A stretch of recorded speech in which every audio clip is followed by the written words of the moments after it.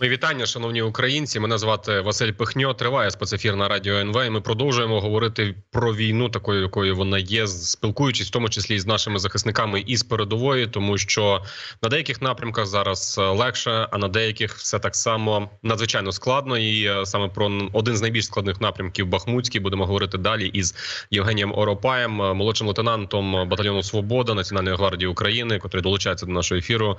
Євгенію, вітаю вас. Вітаю, вітаю студія. Слава Україні!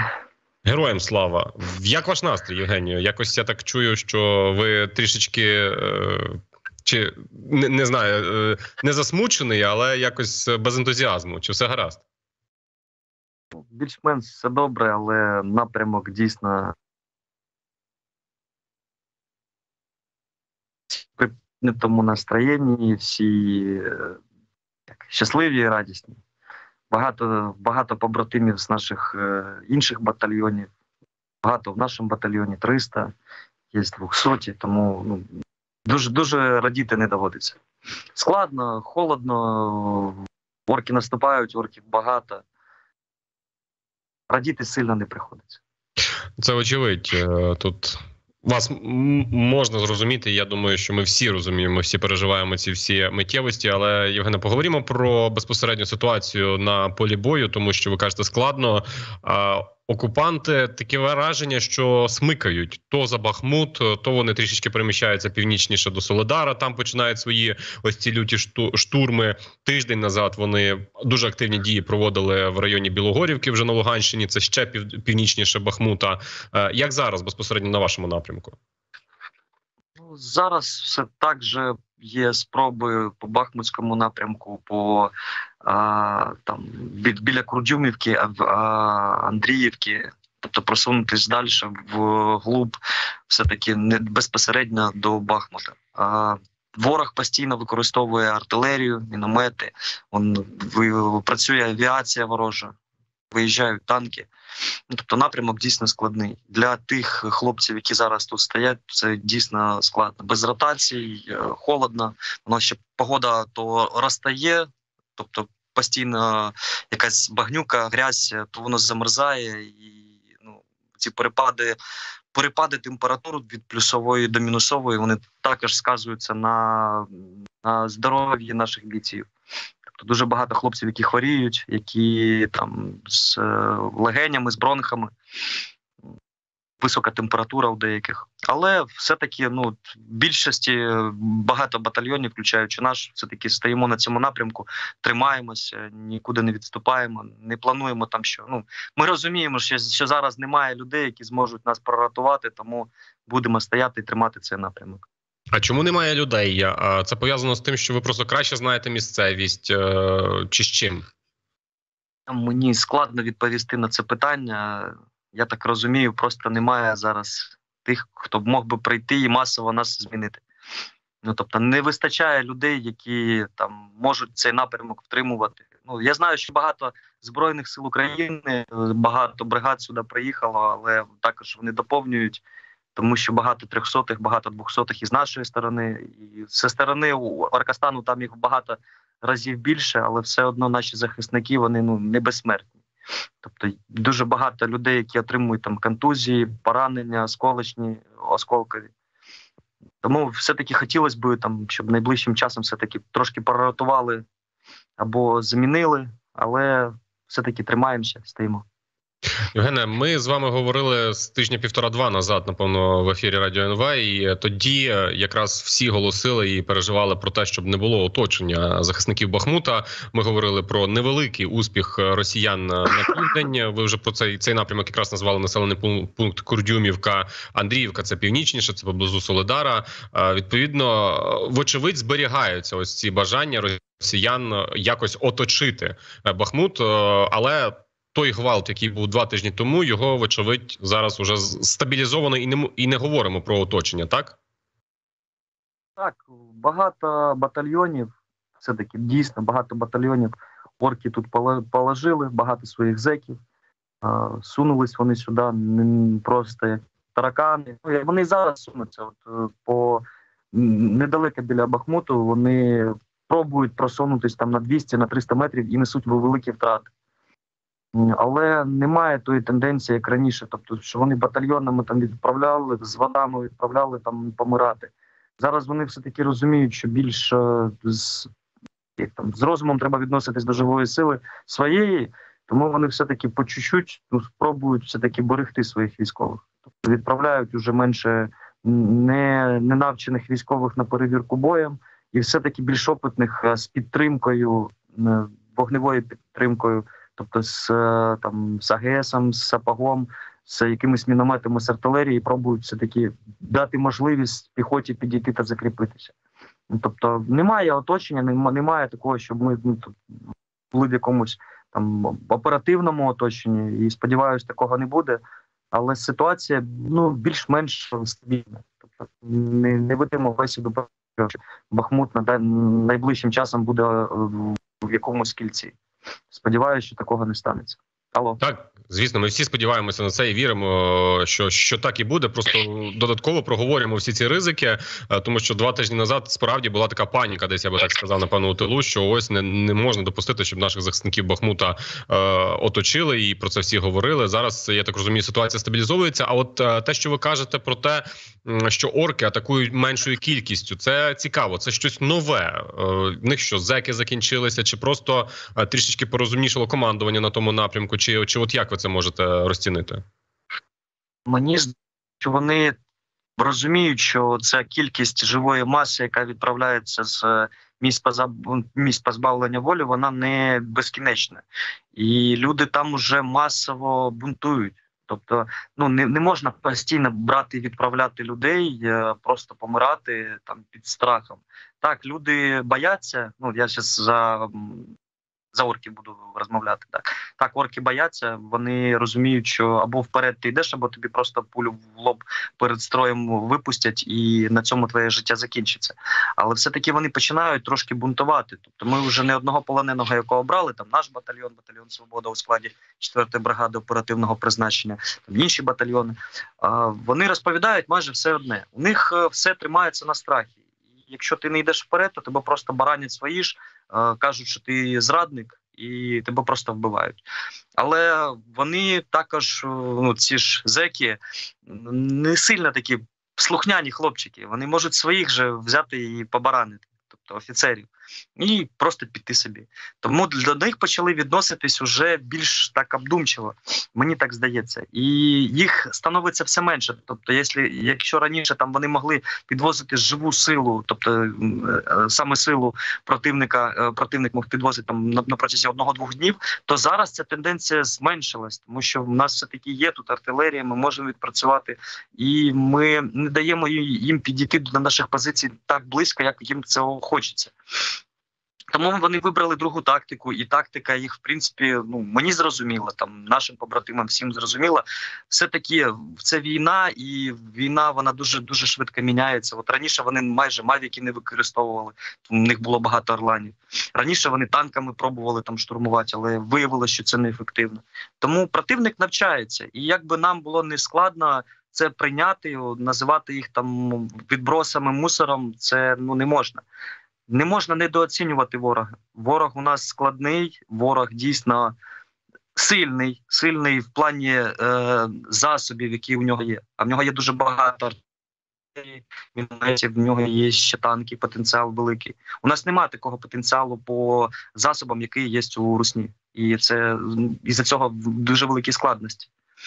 Тобто- Вони можуть виїхати там да, 3-4 танка і просто навалити каруселью, там розбирати наші позиції. А ми з цим нічого не можемо зробити. Тобто тези про те, що говорять, що у росіян вже все закінчується, вони на практиці не мають нічого під собою. Можливо, у них щось там закінчується, можливо, там Арестович дійсно правий. Через деякий час у них щось закінчиться, але на даний момент все що я бачу, що росіяни як використовували своє БК там 120-ку, 80-ку, так вони використовують. Як літала у них авіація, так вона і літає. Як виїжджав танк там раз в день, раз в декілька днів, так він виїжджає. Тобто, ну по факту, на нашому ну, можливо, на всіх інших напрямках ситуація менш критична, але на цьому напрямку, де стоїть батальйон свободи, нічого не міняється. Ну Працює артилерія, працює міномети, працює авіація, авіабомби скидують, там багато смерчів, багато ураганів. Ну не міняється так, щоб там критично вони почали економити своє БК. Ні, такого немає. Ви знаєте, Євгеній, я читаю оцінки багатьох аналітиків, експертів, які стараються так стратегічно поглянути на картину, і всі говорять, що лише на Бахмутському напрямку якраз у росіян зосереджена та кількість артилерії, яка, наприклад, дозволяє ефективно здійснювати е, штурмові дії. На інших напрямках у росіян криза за цим фактором. Е, знову ж таки за авіацію, те, що ви говорите, так само. Е, тобто вони мають зможуть отримувати лише на Бахмутському напрямку. Відповідно, зараз Бахмуту і його захисникам, таким як ви відводять роль. Як це було у Сєвєродонецьку, Лисичанську, зрештою, де теж був батальйон Свобода е, Нацгвардії, де теж стримували, сковували величезні сили противника для того, щоб мати змогу використовувати цю паузу, цю перевагу для підготовки наступальних операцій десь на іншому напрямку. Е, от ви з цією роллю, я не знаю, як то сказати, погоджуєтеся, приймаєте чи усвідомлюєте і приймаєте її такою, якою вона є. Насправді, ще коли ми з Северодонецька виходили з побратимом, ми дуже дуже сильно. Ну зараз так з почну спочатку. Я з бургером виходив з Северодонецька а, на переправі. Я дуже дуже сильно матюхався тоді на там, на командування на цю ситуацію в цілому, що нас не прикривала артилерія, і наш підрозділ, тобто ну мій підрозділ, прикривав навіть двох два підрозділи ЗСУ. Тобто ми майже останні виходили.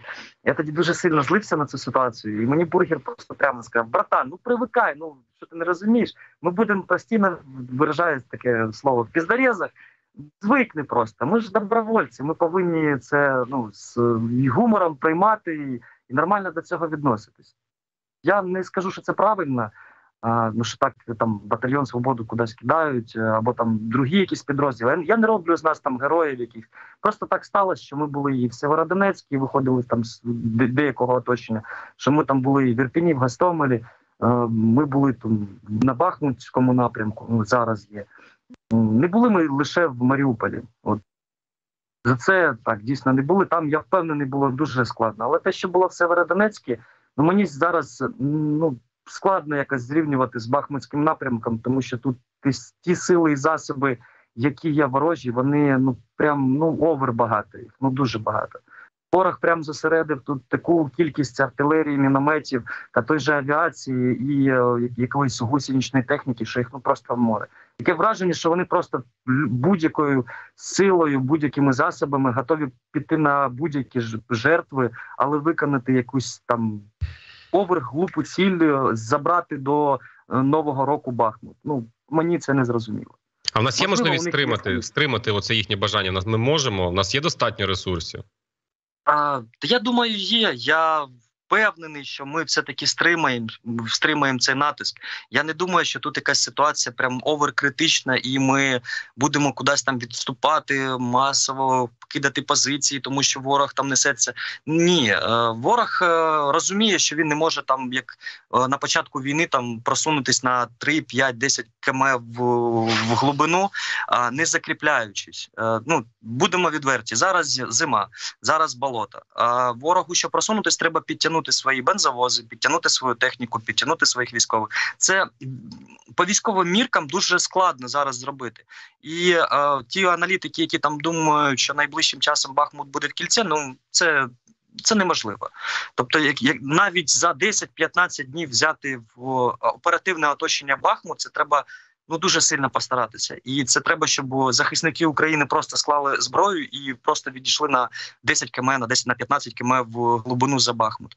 Тому я більш чим впевнений на 99%, що до нового году, е, до нового року, там до середини січня, цей напрямок буде. Втриманий, і ті захисники, які тримають, зможуть все таки на цьому напрямку показати, знаєте, свій характер. А характер тих людей, які стоять тут, ну він дійсно є.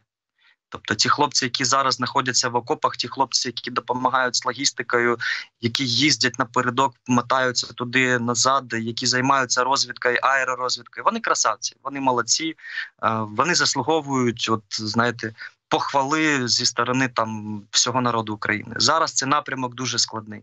Мені складно там.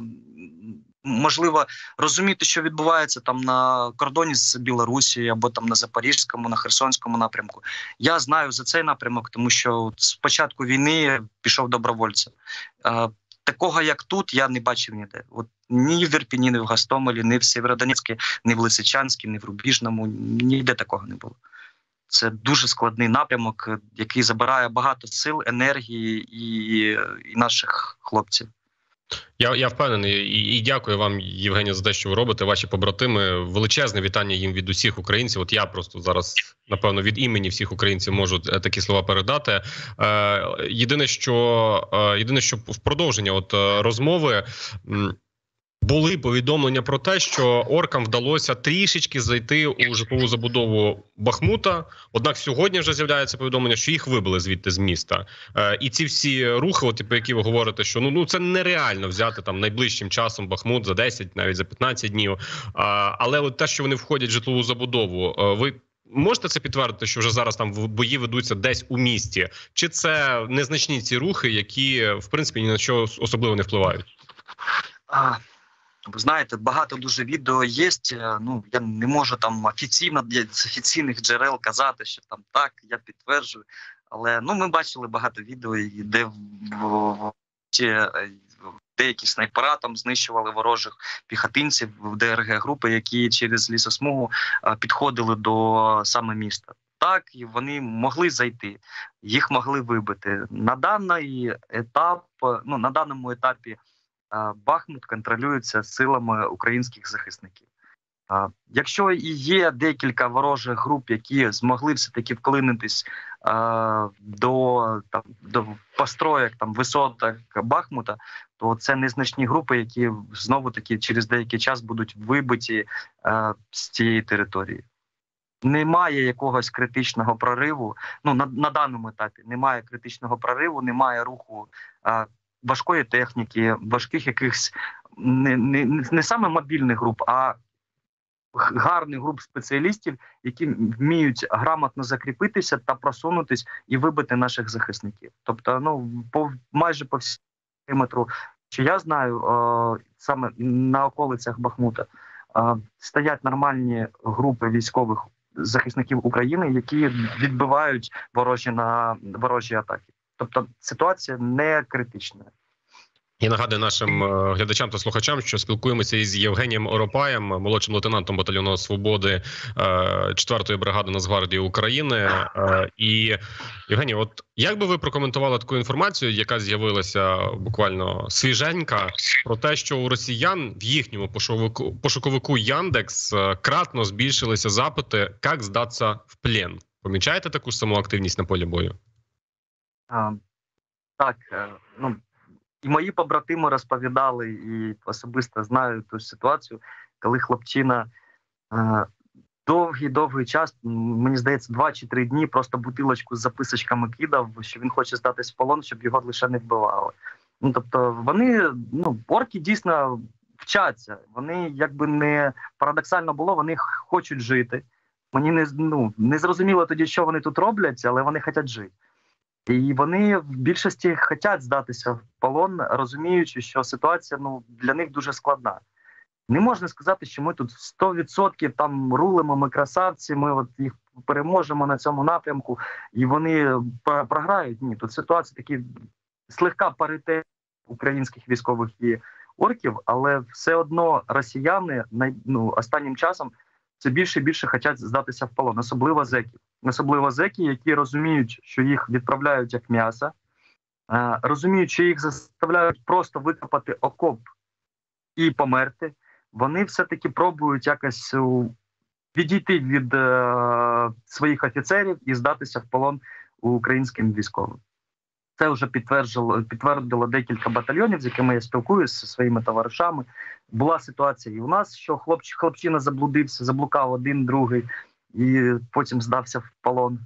Тому да, най, найближчим часом все-таки будемо сподіватися, що вони будуть більш е, досвідчено здаватися в полон і не знаєте, не випробовувати свою долю. Тому що здатися в полон вони так хочуть, а іноді вони здаються дуже, дуже пакісно. Тобто можуть там зробити необдумані речі, і нашим захисникам від цього буде тільки гірше. Ти, ти хотів би його взяти в як полоненого, а там ззаді може стояти група, яка його прикриває, і для наших захисників це може бути небезпечно. Ну до речі, е, додатковою тезою того, що зараз ем, якось збільшилася кількість полонених. Я я лише от зі свого боку, аналізуючи, можу е, здогадуюся, що саме із цим пов'язані, напевно, що обміни. Та частота обмінів, яка зараз збільшилася, можливо, це якийсь взаємозв'язок між цими е, подіями є. Але це це лише моє припущення. Я не, не, не переконую, що це саме так воно є.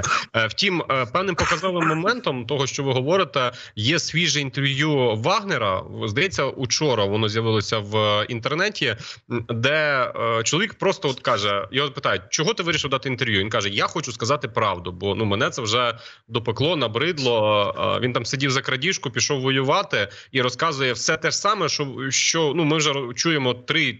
Тижні, місяць, може півтора місяці, відколи е, зеки там почали з'являтися дуже активно. Е, що їх от обнуляють. Не виконав наказ, тебе обнулили. Не виконав наказ, тебе обнулили. І він зараз це говорить е, на відкриту. Тобто, вочевидь, те, що ви говорите, навіть серед вагнерівців, навіть серед е, е, зеків, невдоволення зростає. Я навіть поясню. Дивіться, е, що робить е, Пригожин, там оцей, е, що роблять в- Росії саме от еліта. Вони ж вбивають двох двох таких зайчиків. Перше, вони знищують цю всю, ну як би правильно виразитись, не можна так, треба більш тактично, толерантно. Навантаження на державну систему, скажімо так. Навантаження на державну систему, все правильно. Тобто вони вбирають навантаження на державну систему за що того, що а, не буде оцих зеків так багато, їх не треба буде кормити, їх не треба буде одягати, обувати, там вигулювати і тому подібне. І друге, те, що вони роблять, якщо помре тисяча зеків, які там просто обнуляться, яких е, треба відправити в е, приватні компанії Вагнер, то про них ніхто майже не буде згадувати, і в ті ж самі там. Пітер... Санкт-Петер- Санкт-Петербург, Москва там і інші великі міста. Про них ніхто не буде навіть згадувати. Тобто помирає дуже багато, а резонансу ніякого немає. Але возитись в горобіках 200, груз 200. А в Москву там дуже багато військових хлопчиків, які там з честю хотіли боронити незрозуміло яку там Росію на території України. Це визове дисонанс в країні, і багато е, російських мам та батьків почнуть е, висказувати своє негодування. Як це так, що мій хлопчинка е, пішов на війну і помер на території України? А, тому ця зеки це остання така краплина перед е, тотальною мобілізацією. Тому що якщо зараз зеки не допоможуть, а вони скоріш за все не допоможуть.